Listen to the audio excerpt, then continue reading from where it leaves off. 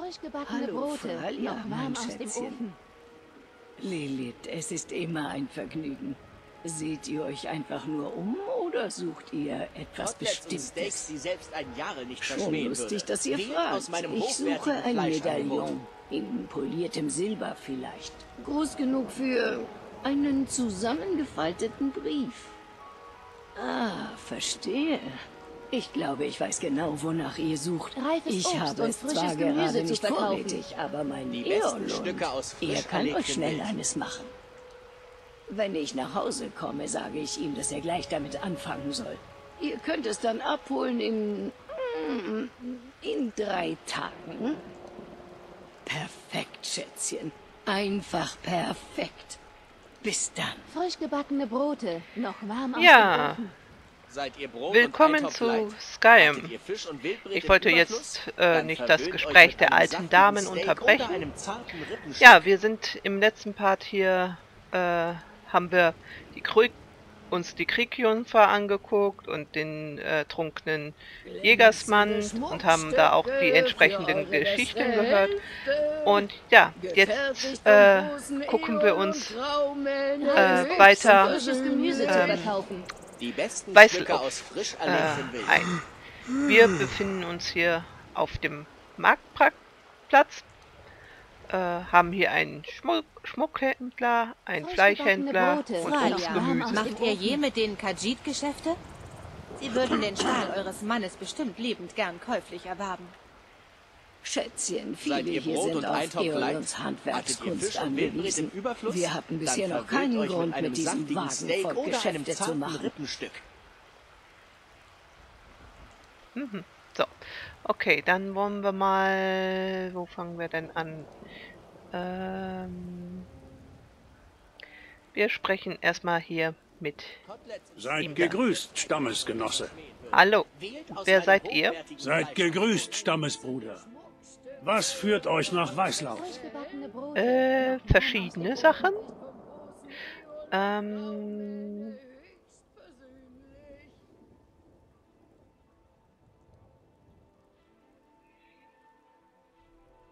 Äh, sagen wir,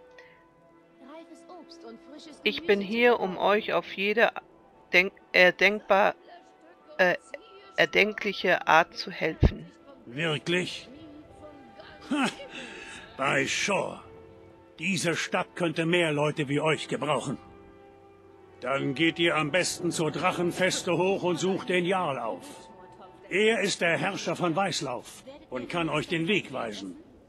Natürlich. Ich bringe euch welches mit, wenn ich Ähm, ihr lebt hier? In der. Tat. Schon mein ganzes Leben lang. Wir Kampfgeborene waren von Anfang an hier. Zusammen mit den Graumähnen. Unsere Familien waren über Generationen hinweg eng verknüpft. Doch Ulfric Sturmmantels Aufstand trieb einen Keil zwischen uns. Jetzt können wir einander kaum noch ansehen, ohne in Streit zu geraten. Einfach lächerlich. Es heißt, die Drachen seien nach Himmelsrand zurückgekehrt. Und das? Ja, das ist ein echtes Problem. das ist richtig. Äh, gibt es irgendwo Arbeit für mich? Ich weiß nicht, ob Sie Mitglieder suchen, aber ihr solltet mal mit den Gefährten reden. Die sind drüben in ihrer Halle, Jorvaskr. Wenn ihr mit Arbeit meint, eure Waffe in blutigen Schlachten zu erproben.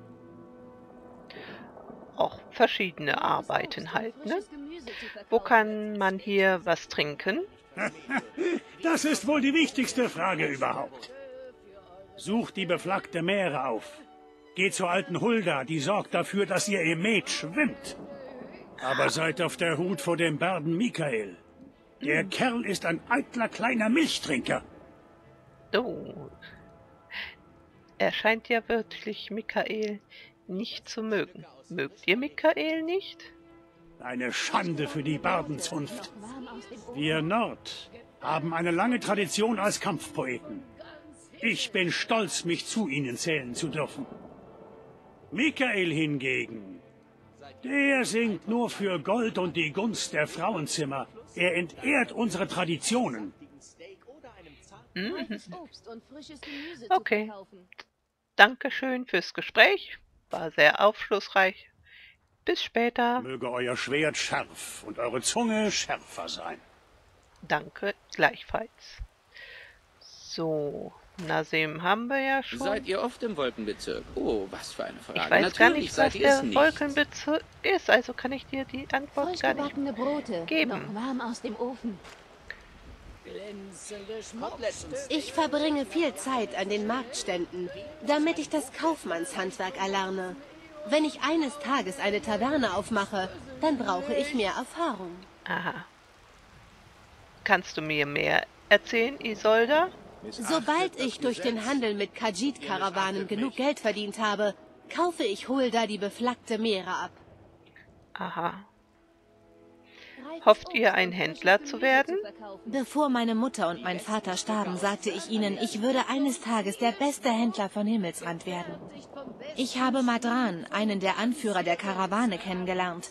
Er sagte, er würde mir helfen, wenn ich ihm einen Mammutstoßzahn bringen könnte. Ein Leichter Mammut. gesagt als getan. Ofen. Äh, ich könnte euch vielleicht helfen. Das würdet ihr tun? Wenn ihr fündig werdet, könnte ich euch das eine oder andere über das Geschäftsleben beibringen. Euch zeigen, wie man einen guten Handel abschließt. Okay. Was wisst ihr über die Kajits? Ungefähr so viel wie jeder andere. Sie sind das Katzenvolk von Elsweier. Großartige Krieger, gute Händler. Ich habe gehört, Elsweier sei mit Himmelsrand nicht zu vergleichen. Es soll dort tropische Wälder und staubige Ödlande geben. Es klingt furchtbar. Tja, die dort leben, fühlen sich höchstwahrscheinlich pudelwohl. Äh, ihr habt von Handelskarawanen gesprochen.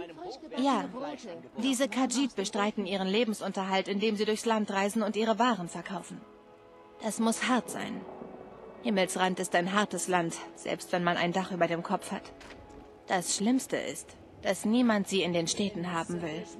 Niemand vertraut ihnen. Ähm, Die besten Stücke aus frisch erlegtem Wild. Frau, äh, vertraut ihr ihnen? Ja, ich vertraue ihnen. Soweit ich das sagen kann, haben sie mich immer gerecht behandelt. Und ein Nord erkennt einen Lügner auf den ersten Blick. Hattet ihr Fisch und Wildbret im Überfluss? Okay. Dann verwöhnt euch mit einem saftigen Steak oder einem zarten Rippenstück. Ja, das muss hart sein. Das Schlimmste ist, Ja. dass niemand sie in den Städten haben will. Niemand vertraut ihnen. Warum nicht? Das hat vor allem mit dem Ruf zu tun. Viele Kajit wenden sich der Schmuggelei und dem Diebstahl zu, um zu überleben. Ein fauler Apfel steckt hundert gesunde an. Ihr wisst ja, wie es ist. Danke fürs Gespräch. Bis später. Lebt wohl. Ja, Ich helfe meiner Mutter dabei, Obst und Gemüse zu verkaufen. Meistens macht es Spaß, aber es ist harte Arbeit. Habt ihr die Preise erhöht, Carlotta? Das musste ich. Die Bauern verlangen das Die Doppelte für das Stücke Obst und Gemüse, das ich verkaufe. Lasst mich raten. Ich verbringe viel Zeit an den sei wegen des Ärgers mit den damit ich das Kaufmannshandwerk erlange. Ganz genau. Es gibt nur noch halb so viele Straßenpatrouillen, weil der Jarl Soldaten brauchte. Die Banditen sind dreister denn je. Sie überfallen die Höfe und stehlen Nahrungsmittel. Überlegt ihr, euch hier niederzulassen? je zuvor. Da steht ein Haus Vielleicht zum verkaufe Verkauf, ich das Friesenheim. Rüstungen. Ihr solltet mit dem Vogt oben in der Festung Aber sie sprechen, würden wenn ihr nicht so gut schmecken wie ein Leib frisch gebackenen Pumpernickels. immer diese Durcheinanderquatscherei. Sagst du was anderes? Guten Tag. Was ist denn?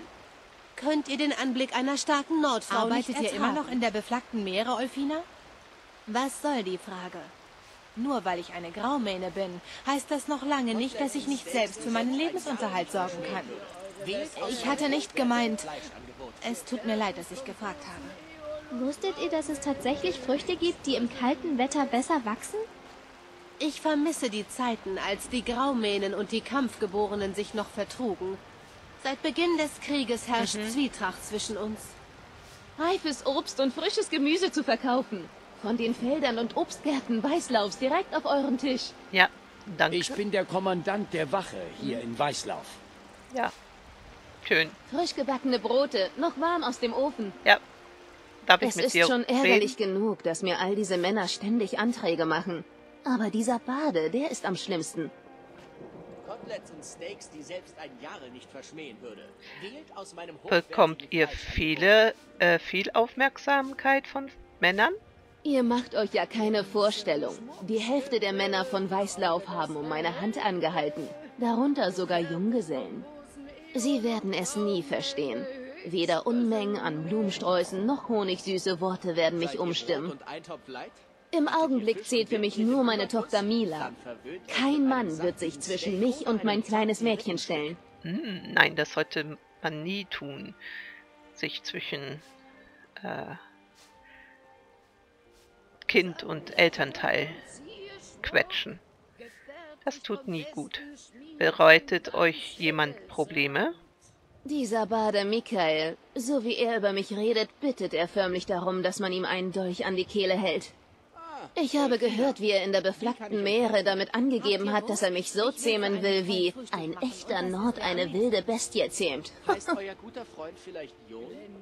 Ich habe euch beide die Köpfe zusammenstecken sehen. Was wäre, wenn ich mit Michael rede? Ihr könnt es gern versuchen, aber ich glaube kaum, dass irgendetwas in seinen Dickschädel dringt. Okay. Nächste Quest. Vielen Dank. Bis später dann. Vergesst nicht, täglich frisches Obst und Gemüse Ja. zu essen. Nee, ich trinke sowieso mehr nur Die Tränke. besten Stücke aus frisch erlegtem Wild. Was ist denn? Könnt ihr den Anblick einer starken Nordfrau nicht ertragen? Anno Dingsabumsa. Guten Tag. Die besten Stücke vom frisch erlegten Wild. Ja, brauchst ja nicht gleich so zu brüllen, der Herr. Äh, weil ich bin nicht taub. Ich habe noch sehr gute Ohren. Äh, habt ihr das ganze Wild ganz alleine geschossen? Oh ja, die Jagd ist meine große Leidenschaft. Darum haben mein Bruder und ich einen Laden eröffnet, um Jagdzubehör zu verkaufen. Den trunkenen Jägersmann unten am Haupttor. Er kümmert sich um das Geschäft und ich betreibe diesen Stand. Na, dann gucken wir mal, was er hat. Schmuckstücke, Krimskrams, solche Sachen. Schmuckstücke. Da haben wir haufenweise Essenssachen. Die brauchen wir erstmal nicht. Zutaten, klar, Salz. Gut. Gute Jagd. Ey, warum ich vermisse die Zeiten, als die Graumähnen und die Kampfgeborenen sich noch vertrugen. Ja, ja. Seit Beginn des Krieges herrscht Zwietracht zwischen uns. Ja, Vordränglerin, du. Reifes Obst und frisch, Ja. Frisch gebackene Brote, noch warm aus dem Ofen. Ja, zeig mal, was Blick du... drauf. Das habe ich gerade vergessen zu gucken. Aber auch sie hat halt nur ähm, Essenskram. Okay, Danke, beehrt mich bald wieder. ja, bis denn dann. Und Ich verbringe viel Zeit an den Marktständen, damit Ja. ich das Kaufmannshandwerk erlerne. Wenn ich eines Tages eine Thalia. Taverne aufmache, Guten dann Tag. brauche ich mehr Erfahrung. Sammlerstücke und Zierschmuck, gefertigt vom besten Schmied von ganz Himmelsrand. ah ja, ja, ja. Äh, wer ist der beste Schmied von Himmelsrand? Ihr müsst neu hier sein, wenn ihr eine solche Frage stellt. Mein Ehemann Eolund hütet die Himmelsschmiede in Jorvaska, der Methalle der Gefährten. Es gibt in den neun Fürstentümern keinen besseren Schmied. Ihr solltet ihn nach seiner Arbeit fragen, das einzige Thema, bei dem er so richtig in Fahrt kommt. Das und vielleicht noch diese eingebildeten, dumm schnupfenden Kampfgeborenen. Äh, wo liegt Jovaskrill? Geht auf dem Markt die Treppe hoch und schaut dann nach rechts. Könnt es nicht verfehlen. Die besten Stücke aus frisch Nochmal, weil Ihr- da war ja, Mein Ehemann, ihr solltet ihn da war ja noch eine und vielleicht noch Option. diese eingebildeten, dumm schnupfenden Kampfgeborenen. Die Kampfgeborenen? Hörten ihr bloß mit diesem Haufen auf? Sie halten sich für etwas ihr Besonderes. Ja, sie haben Geld. Aber nicht einer von ihnen besitzt einen Funken Anstand. Graumähne. Das ist ein Name, der einen mit Stolz erfüllt. Wir haben Wurzeln in Weißlauf. Wir haben Tradition. Mhm. Okay. danke. Wir gucken, was sie Werf hat. einen Blick darauf. So, Bekleidung. Ja klar, sie ist ja Schmuckverkäuferin, also hat sie Schmuck und komm, kaufen wir den einen Dietrich. Gut, Dankeschön. Bis später. Passt gut auf euch auf. Wählt aus meinem hochwertigen Nein, dein. Bier habe ich leider noch nicht gemobst. Tut mir leid. Wer bist du? Sammle Stücke und ziehe Schmuck. Es geht ein Riss durch Himmelsrand. Und weder Magie noch die Zeit kann ihn heilen. Aha, okay. Gut, ähm, dann gucken wir jetzt äh, Beletors frisch erlegtem Gut, gehen wir mal rein. Lasst es mich wissen, wenn euch etwas gefällt. Ja. Mhm. Gucken. Aha. Leeres Fass, da können wir noch nicht rein. Ja, ja, ich guck mich nur um den Bedetor, mehr nicht. Das ist auch leer. Gucken wir mal hier oben. Ich klau schon nix, keine Angst. Ich schau mich nur ein bisschen um. Wie du hier so lebst. Weil ich muss mir ja einen Eindruck von dem machen, wie eure Häuser so eingerichtet sind, ne? Weil, äh, ja, äh, sonst weiß ich ja nicht, wie ich äh, vielleicht mein Häuschen äh, einrichten kann. Hast du einen Tipp, Bellator? Wie kann man sein Haus am besten dekorieren? Hm?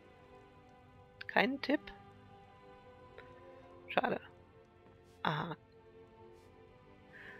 Auch so noch so ein Geschäftsbuch. Und eine Schatulle, Lehrling. Lachsbrat. Oh. Hier schläft noch jemand auf dem billigen Bett. Aber hübscher Hm, hast du Bellator. So, hier oben war ja weiter nichts. Ach. Guten Ich Tag. arbeite für Beletor im Gemischtwarenladen. Mhm. Also ist höchstwahrscheinlich das Bett, was wir ja hier da oben gesehen haben. Kommt Dann doch mal in Beletors Laden am Ja. Markt vorbei. Wir haben bestimmt etwas, das ihr gebrauchen könnt. Wenn du es nicht, dir nicht aufgefallen sind, sind wir schon drin. Also sein Bett ist hier oben. Beletor hat höchstwahrscheinlich das bessere Bett. Okay.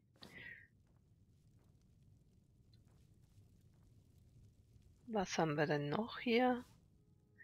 Glas und Holzschwert.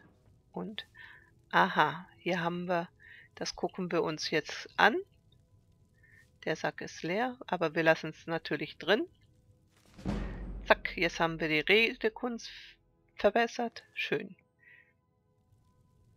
Das sind halt so Bücher, ähm, die haben höheren Wert und die verbessern dann dementsprechend äh, die irgendeine Fähigkeit.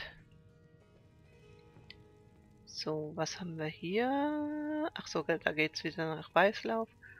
Rindfleisch. Ah ja, das ist wohl ihre kleine schnuckelige Küche, wo sie hier halt äh, äh, sich ihr Mittagsessen machen.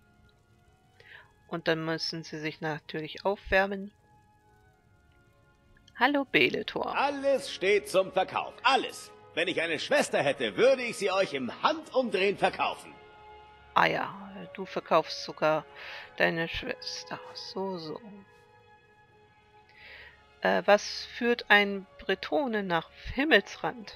Liegt das nicht auf der Hand? Das herrliche Wetter und die gastfreundlichen Menschen natürlich.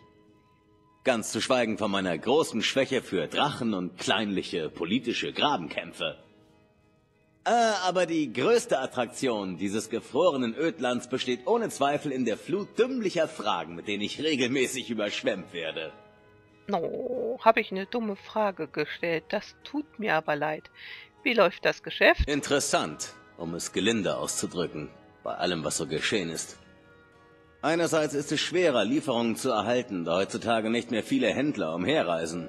Mhm. Aber andererseits hat Klar. die Knappheit an Lieferungen zu einigen, nun, sagen wir, Preissteigerungen geführt. Ja, das haben wir ja schon Wichtig ist draußen nur, gehört. dass ich habe, was ihr braucht. Und es ist jeden Septim wert. So ist es das. Dann zeig mal Für her. manche ist es Ramsch. Dein Für Zeug. mich sind es Schätze. Anschauen kostet ja nichts. Nach wie vor haben wir ja in dem Sinne äh, nichts, was wir verkaufen wollen. Nee, nee, nee, nee. Das wollen wir alles schön behalten. Ähm. Nee, okay, dann gucken wir jetzt Waffen. Ja, der hat paar Pfeile, eine Streitaxt, beziehungsweise zwei Arten, Bekleidung. Hm.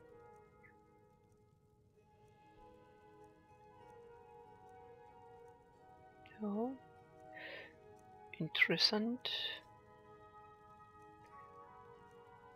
Dann nehmen wir hier das mal mit. Heilung kann nie schaden. Ähm, Essen, ja.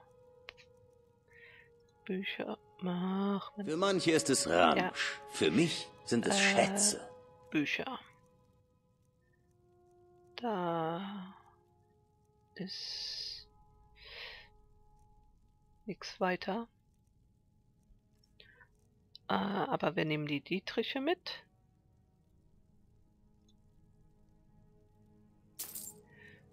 Und ja, das war's eigentlich. Noch haben wir nicht so viel Kohle. Bitte kommt wieder. Ja. Bitte, seht euch um. Ich bin sicher, ich habe etwas, das euch gefällt. Ja, jetzt steht, stellt er sich wieder hin, weil wir ihn äh, angequatscht haben.